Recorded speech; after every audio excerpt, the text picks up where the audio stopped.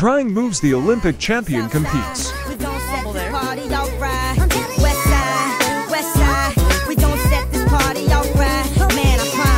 She's so self-conscious. She has no idea what she doing in college. That major that she majored in don't make no money, but she won't drop out. Her parents will look at her funny. Now, tell me that ain't insecure. The concept of school seems so secure. Sophomore, three years, ain't picked a career. She like, fuck it, I'll just stay down her and do it. Cause that's enough money to buy her a few pairs of new ears. Really. She's so precious.